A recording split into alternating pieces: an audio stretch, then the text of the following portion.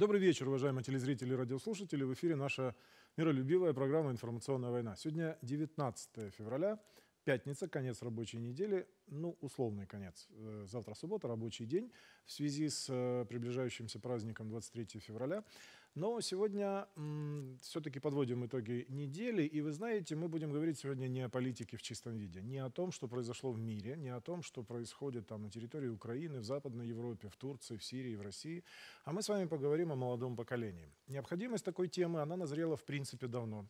А поводом к этой теме, для того, чтобы ее сегодня поднять, послужило то, что мне по роду моей деятельности, ну, не так, чтобы уж часто, ну, там раз в месяц, раз в два месяца приходится выступать перед студентами, перед рабочей молодежью, перед школьниками, там, студентами вузов. Вот недавно я выступал э, в библиотеке имени Пушкина. А, и, в общем-то, на этих встречах сформировалось особое видение такое, знаете, проблемы, которая на самом деле существует и в Российской Федерации в том числе, и в Крыму в том числе. Эта проблема называется «А что на самом деле за душой и в головах у наших э, молодых людей и юношей и девушек в возрасте от, ну, условно, от 14 до 30 до 25. Эта проблема, знаете, возникла сначала еще в мае 2015 года. Тогда меня попросили выступить перед старшеклассниками одной средней школы города Симферополя. А основным поводом послужило то, что старшеклассники, выпускники, а они уже выпускаются из школы, но при этом они до конца не поняли. Они открытым текстом, там, ну, понятное дело, это были мальчики, это были достаточно решительные, самостоятельные мальчики. Они задали такой вопрос, а почему у нас украли родину? И поясняют, мы 10 лет проучились в школе под украинским флагом, а тут вот последний год начинается активная пропаганда, а мы вообще не понимаем в связи с чем, почему у нас украли родину, дословно. И вот здесь вот возникает проблема, связанная вот с чем. На самом деле вот такие задачи, ну, такой вопрос прозвучал. Вот как на него ответить? Для того, чтобы, во-первых, ответить искренне, а, заинтересованно, ненавязчиво и не скатиться, знаете, в пафос. Бывает же такое, скатываешься в пафос, начинаешь махать шашкой, либо еще хуже того, стыдить человека, что ты, он задает такие неправильные вопросы и так далее, и так далее. И, в принципе, вот это касание с человеком, оно становится проигранным.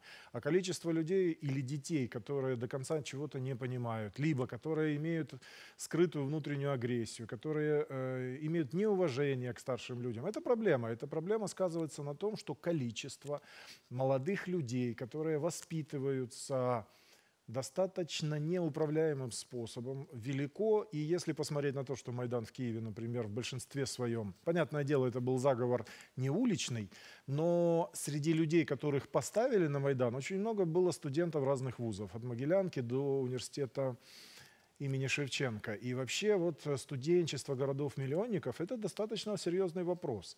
Получается ситуация, при которой э, мы вроде бы как бы это наши дети, нам там 40 плюс, 50, мы как бы платим деньги за то, чтобы они учились, мы их отправляем в вузы престижно, мы им даем специальности, но что находится в головах и на сердцах э, детей, мы до конца не знаем. И это может в долгосрочной перспективе послужить достаточно большой проблемой с точки зрения того, что лет через 10-15 мы будем передавать эстафету управления. Дети, которым сейчас 15, 20, 25, они начнут э, занимать э, посты, занимать должности, которые являются управленческими.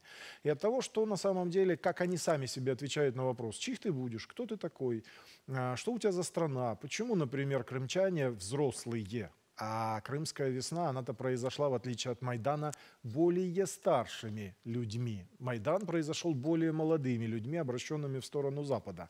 А Крымская весна произошла более старшими людьми, если сделать анализ а, целевой аудитории по возрастам то вот эти все вопросы, они выливаются в достаточно важную проблему, которую я предлагаю решать сообща, я предлагаю решать совместно. И сегодня в эфире программа «Информационная война» миролюбивой. Я хочу поделиться нашими наработками нашей телерадиокомпании «Крым», которая, в общем-то, не только вещает по телевизору, но мы еще и разрабатываем некоторые методические материалы. Прежде всего я хочу начать с точки зрения того, как выходить к детям, о чем с ними говорить, как отвечать на вопрос о крымской весне, как отвечать на вопрос о русском мире, а, как объяснять, что происходит в отношениях с Украиной в нынешнем составе, в нынешнем правящем режимом киевским. Вот для того, чтобы подойти к этому вопросу, я предлагаю уделить пять минут буквально такому понятию, как психологические возраста. Дело в том, что во многом поведение детей, их реакции, их э, отношение к людям, к Богу, к деньгам, к труду обусловлено тем, что на протяжении первых 12-леток, это 12-летние циклы, как в том же китайском календаре практически. Первые 12 лет – это детство – где-то с 10 года начинается гормональное изменение, но детство характеризуется тем, что дети сидят на шее у родителей от и до, свесив ножки. Это неплохо и не хорошо, это так данность, это как солнце светит, ветер дует. Это детство. Детей надо кормить, за ними надо ухаживать, их надо учить, их надо, с ними надо играть, отрабатывать социальные роли. Их нужно готовить к более взрослому этапу жизни. В 12 лет, условно, начинается юношество. Юношество, в отличие от детства, а, точно такое же, дети сидят на балансе у родителей они на полном содержании, на полном пансионе. Причем а, в обществе нашем есть достаточно интересный нюанс, связанный с тем, что а, по инерции Советский Союз а, ввел такое законодательство, которое запрещает эксплуатацию детей. Ну, эксплуатация детей – это то, что в XIX веке, еще при английском капитализме, в России, когда детей эксплуатировали полный рабочий день, им не доплачивали как неполноценным работникам. И, соответственно, владельцы заводов, газет, пароходов на этом зарабатывали больше, но дети тратили здоровье, особенно на вредных производствах и так далее, и так далее. И законодательно в начале XX века были приняты некоторые законодательные акты, связанные с тем, что эксплуатировать детей нельзя. Но вопросы эксплуатации и вопросы труда – это разные вещи у нас получился перекос в этом деле, связанный с тем, что вторая 12-летка с 12 до 24 у нас дети, ну, до 17 так точно, до окончания школы, в общем-то, нигде не работают.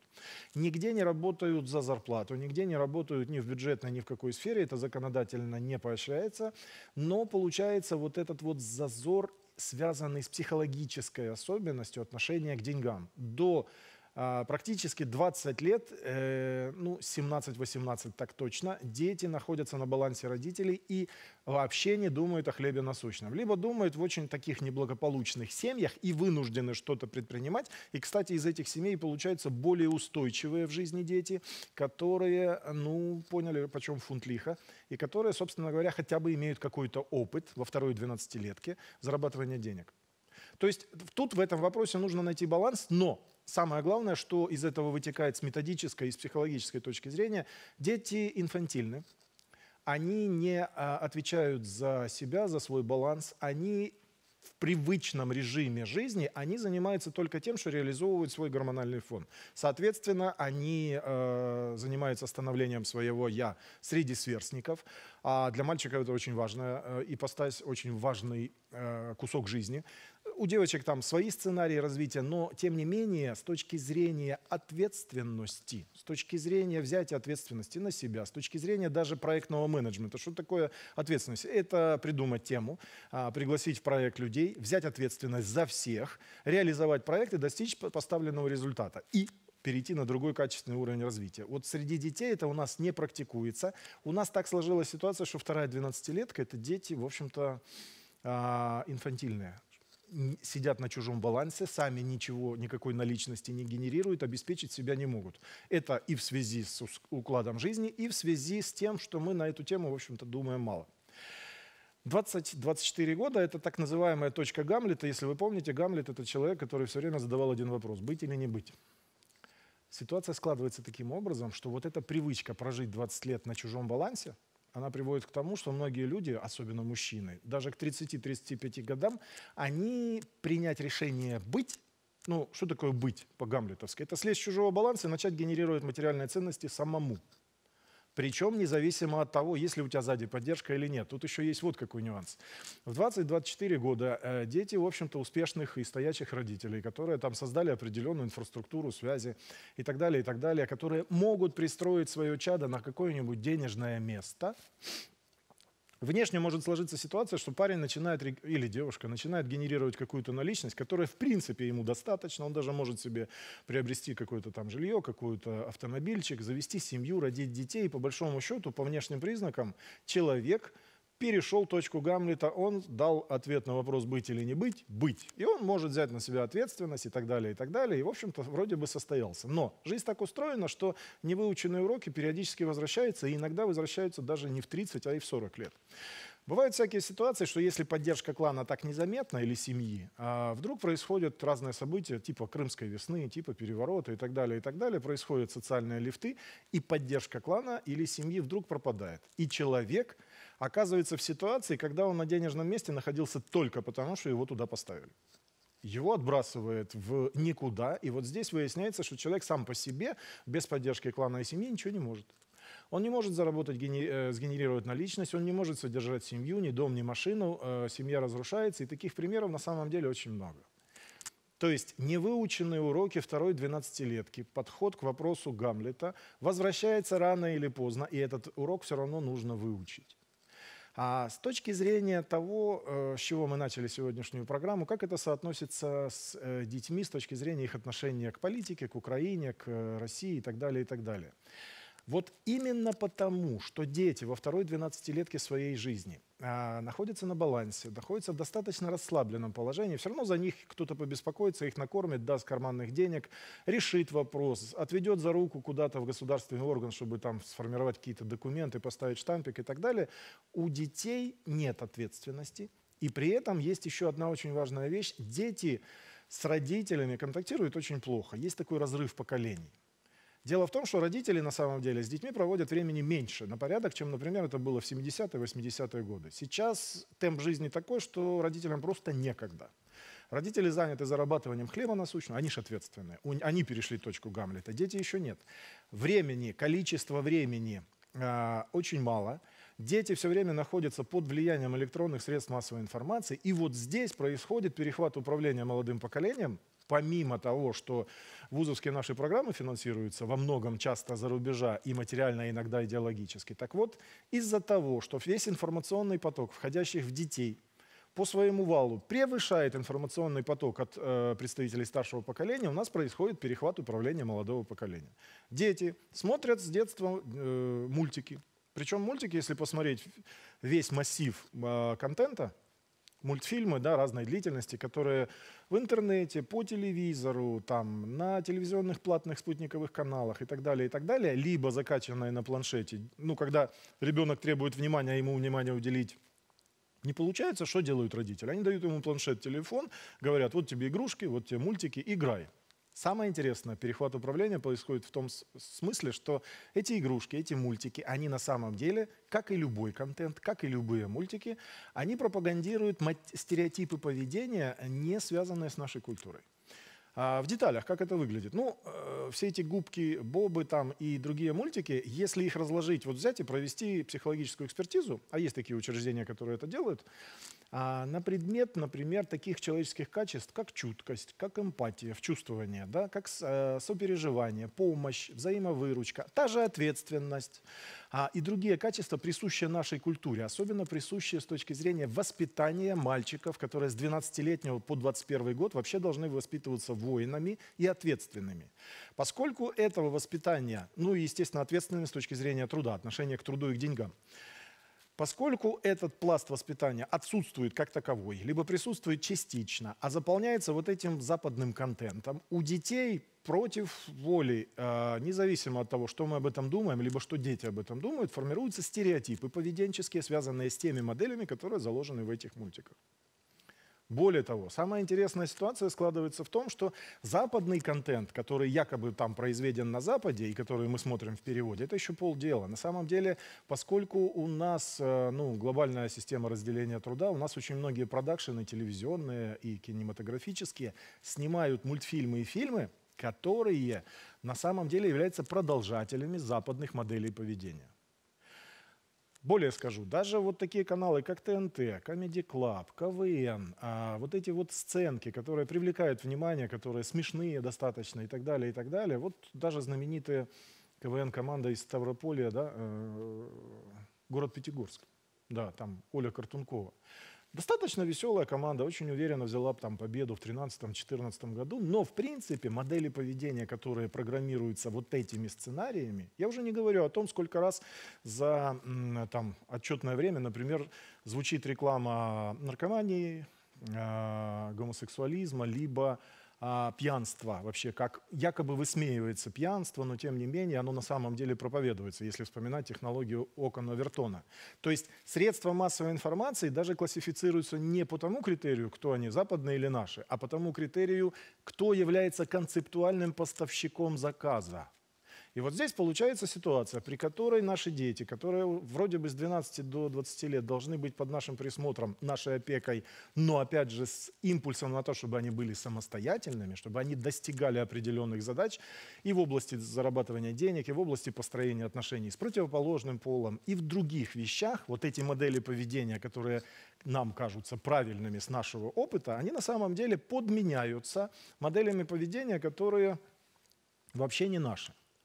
В интернете сейчас вот идет большое, большая дискуссия, кстати, уже много лет идет, о том, например, нужно ли, э, должны ли мальчики, приглашающие девочек на свидание, платить э, за них в ресторанах там, или в кафе, э, не нужно ли проповедовать раздельный счет. И вопрос на самом деле висит в воздухе, на него прямого ответа такого, знаете, общепонятного и утвержденного обществом как бы и нет, потому что разные культуры к этому вопросу относятся по-разному, но дело в том, что мальчики, которые берут на себя ответственность и которые ищут радости во взаимоотношениях с противоположным полом, это действительно э, явление русской культуры, которое э, означает то, что мужчину, мужчина нельзя быть инфантильным, ему надо вести себя по-мужски.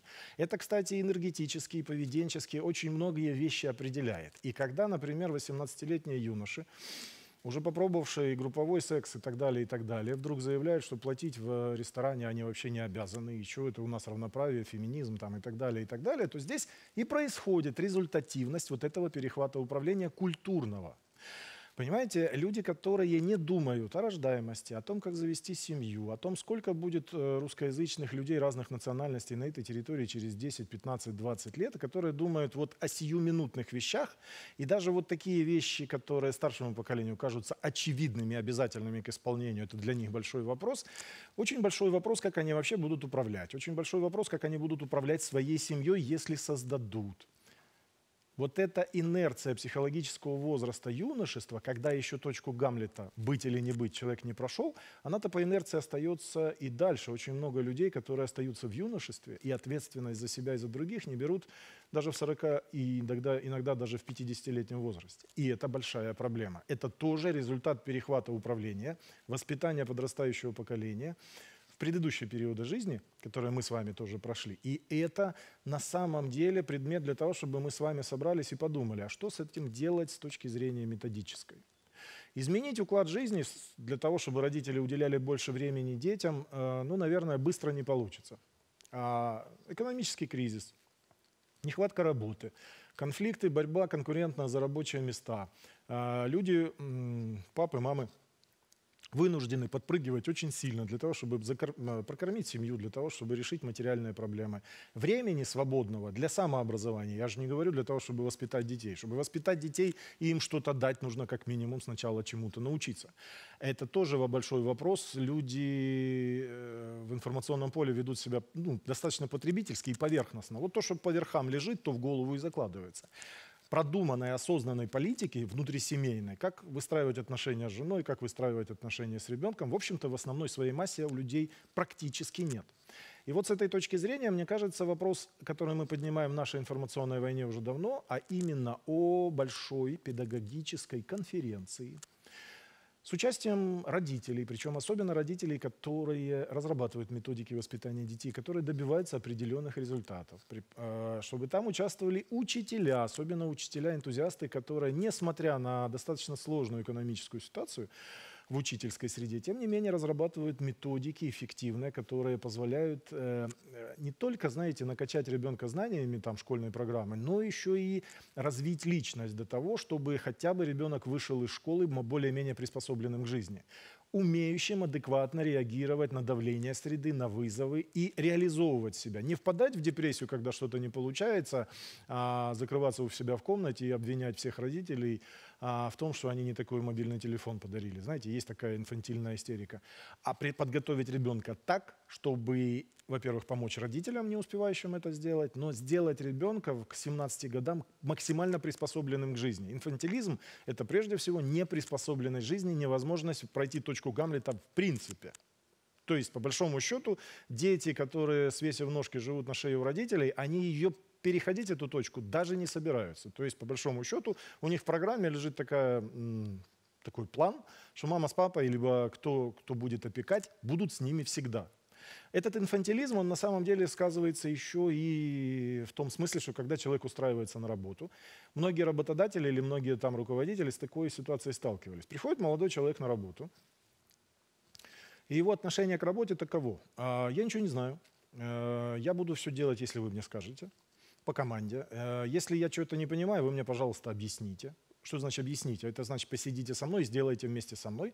Но поскольку я работаю с 10 до 5, то заплатите мне для, за часы. Это называется синекура. Это называется человек вообще ни о чем не беспокоится. Ему все равно заплатят. Беспокоиться точно так же ни о чем не надо. И люди живут десятилетиями в таком состоянии. При этом руководители и работодатели понимают, что это пустое место. И в принципе ну, балласт, который всегда есть в любом коллективе, все равно опирается на тех людей, которые тянут лямку сами. И сами и инициативу проявляют, проверяют, ответственность берут, приклеиваются к руководителю, проводят летучки, совещания и, собственно говоря, решают текущие вопросы. Это вот к чему приводит инфантилизм в воспитании с точки зрения кадрового резерва. С точки зрения, э, скажем, работодателей или детей, которые родились в стоячих семьях, у которых есть бизнес и выстроенная инфраструктура, а, как правило, такие дети идут не в производственную сферу, а, естественно, в торговую, спекулятивную, когда заработок делается из ничего.